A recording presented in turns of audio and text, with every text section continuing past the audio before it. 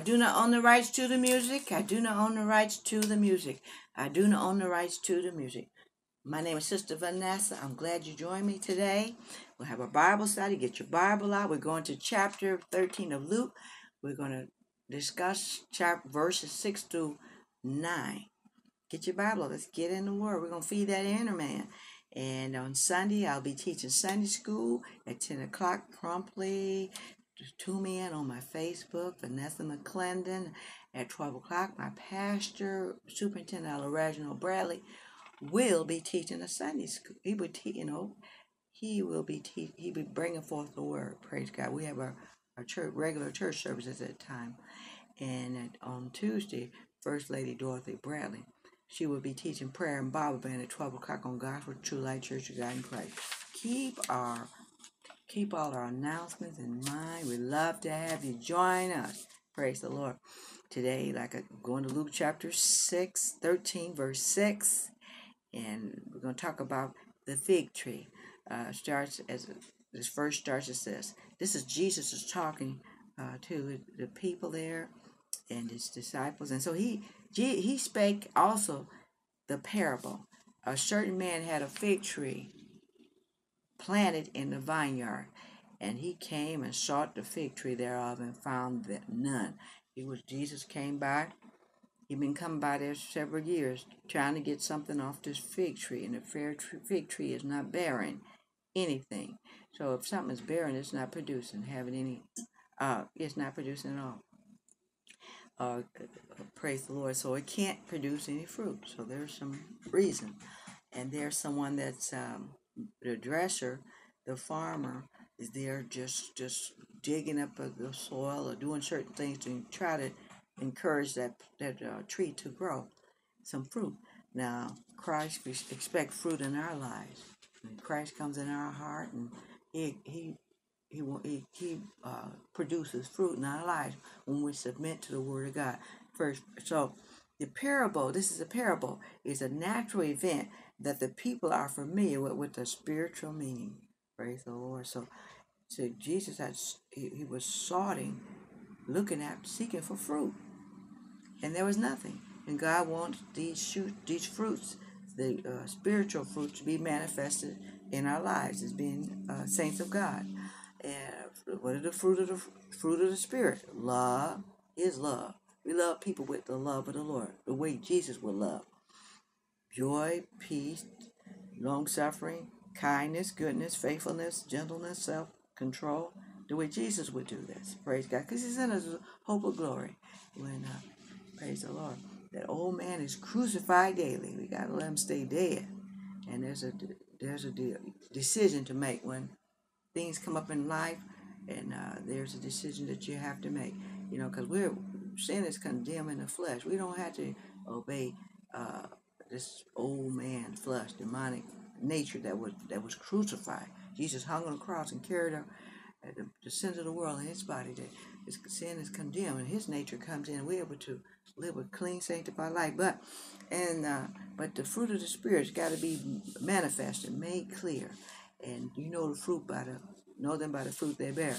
The fig tree is symbolic of Israel.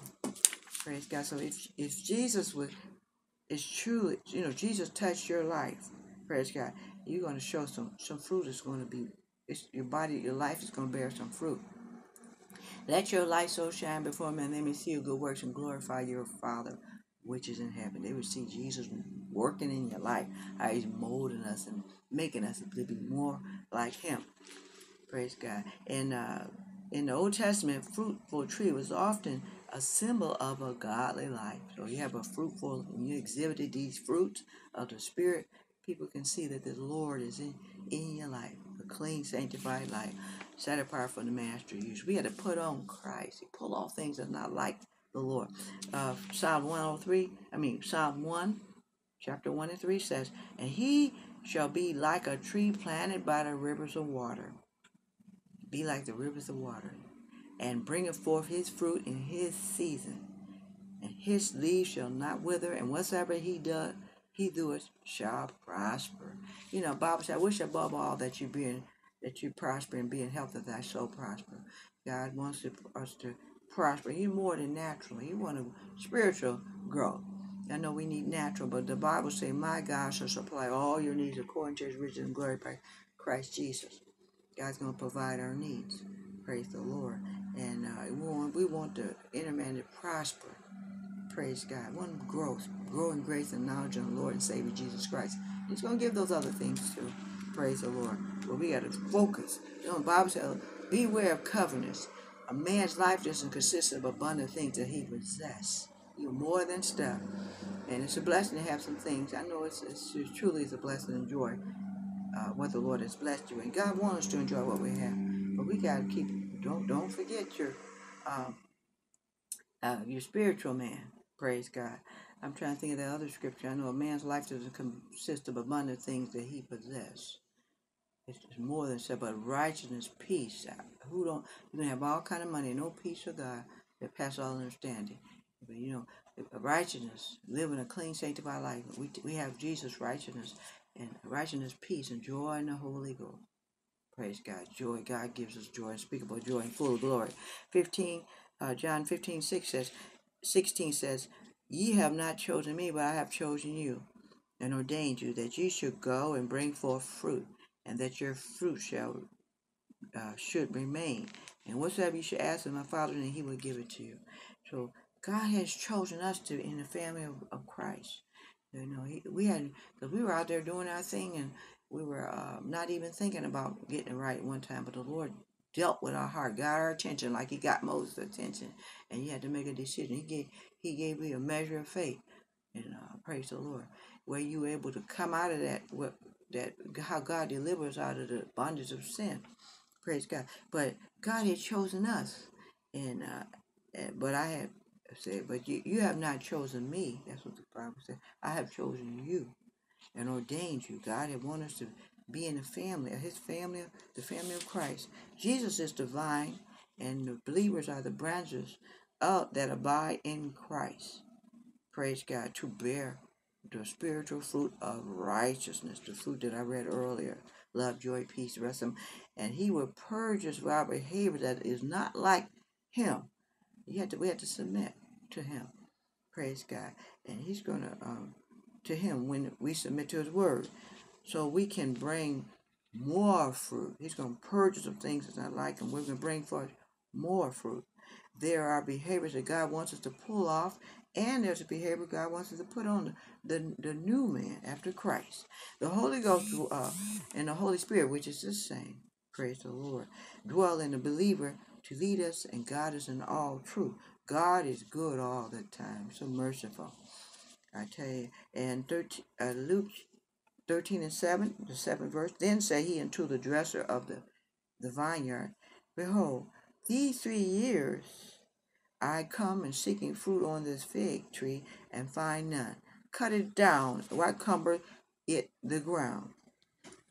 So this is uh, talking about, uh, this is, I was, like I said, this was Jesus telling the people about uh, the parable of the of, of the um, of, the fig tree. This is Jesus talking about it, and uh, and it's relating to uh, the Lord. How the people have rejected the the Jewish rejected the Lord.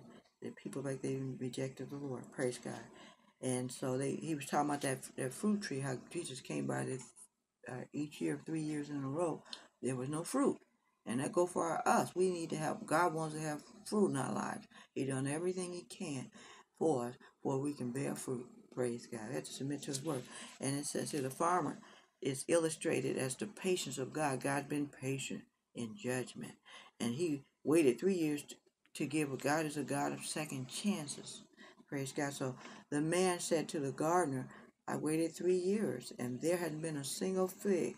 Cut it down it's taking up space. This is in the NLT in the garden.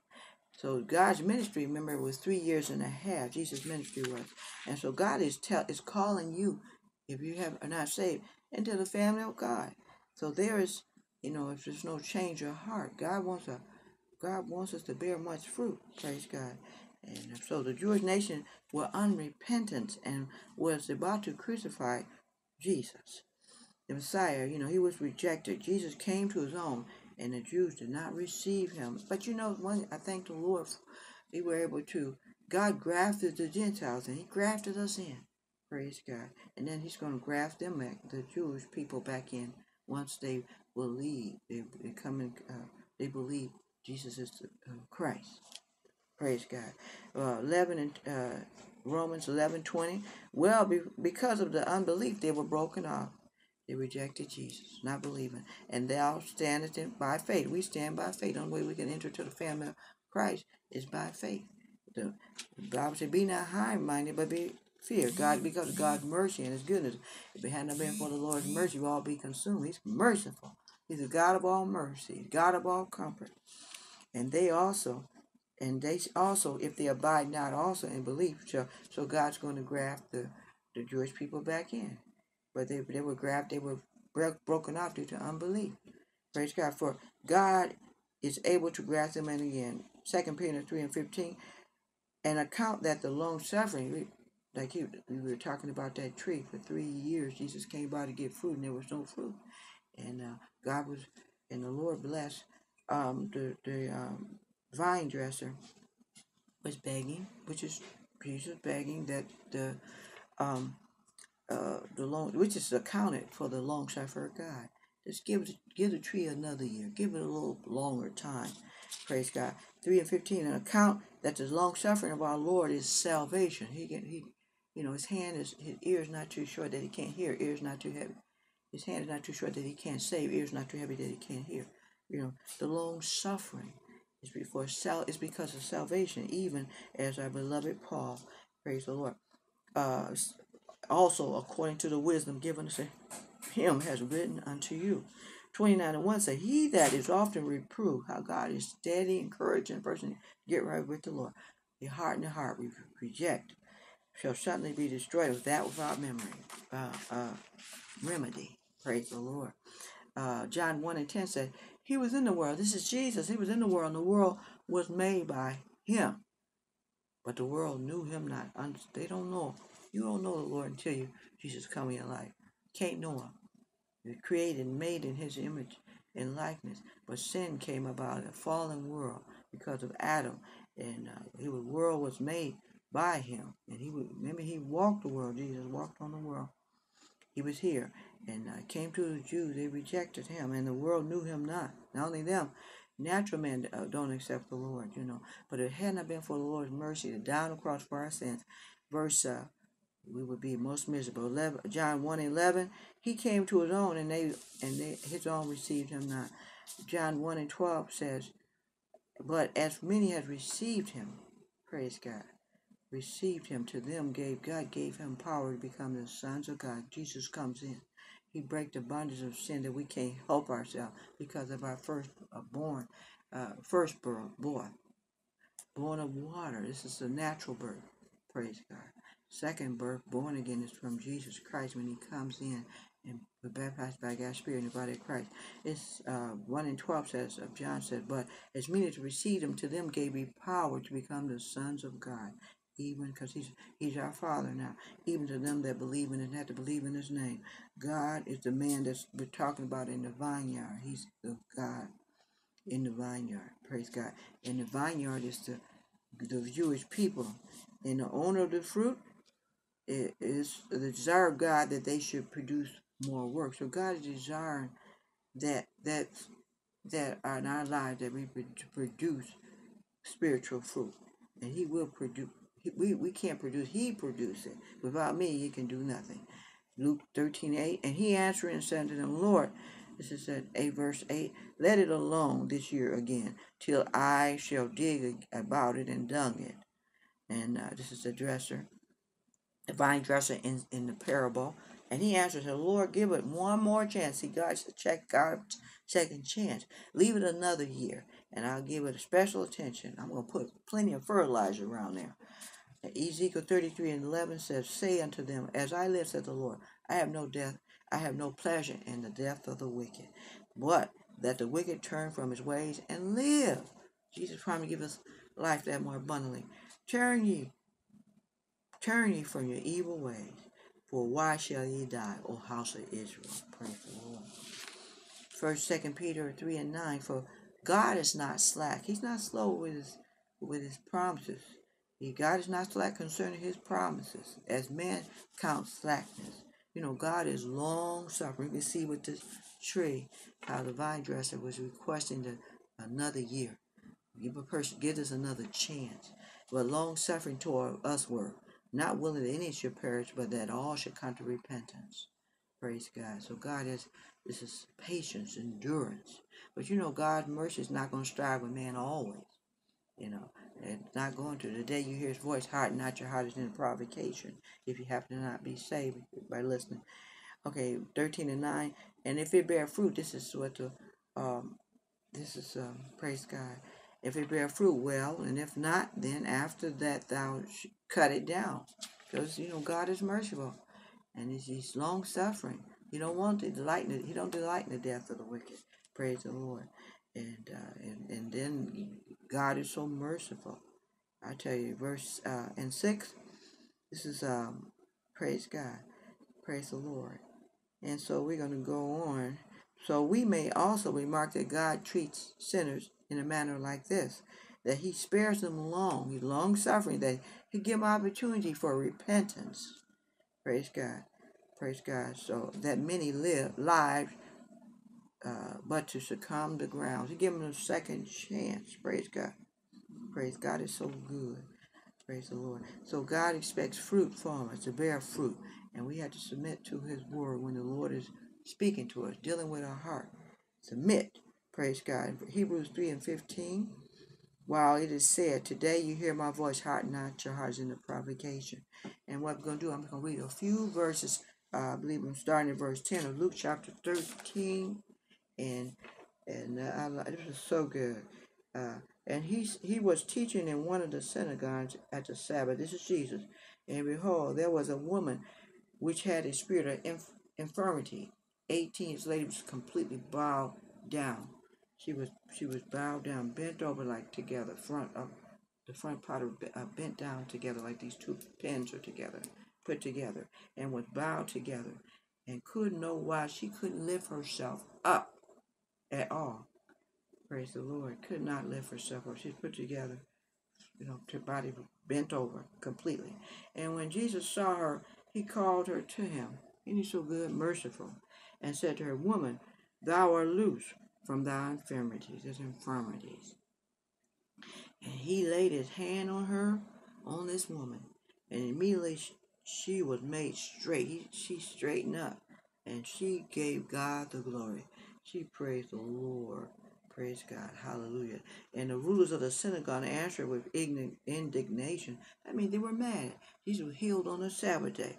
Praise God. Because Jesus had healed on the Sabbath day and said unto the people, there are six days in which men ought to work. In them, therefore, come and be healed, and not on the Sabbath day.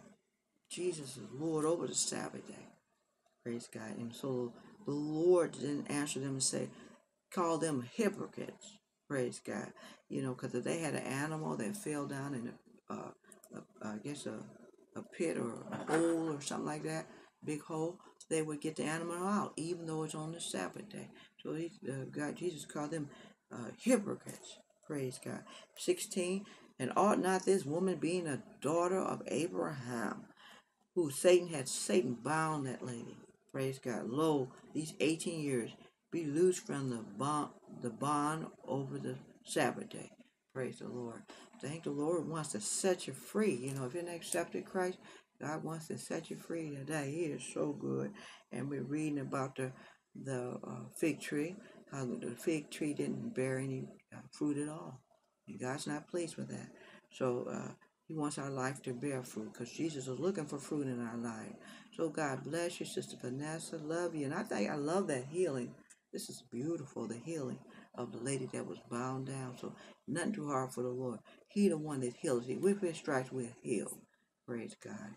So I thank the Lord. We can come boldly to the throne of grace and obtain mercy. We can ask for prayer. Come to come to the we can pray for ourselves. We can come to the, the, the elders of the church and ask for prayer. Praise God. God will you know, God will save the sick and raise us raise you up. Praise God. Hallelujah. Thank God for Jesus. The Bible says once scripture, effectual, fervent prayer of a righteous man availeth much. Sister Vanessa, God bless you. Have a blessed day. I thank the Lord. Lord's willing, I'll be on next Wednesday. Keep me in your prayers. Love you. Bye bye.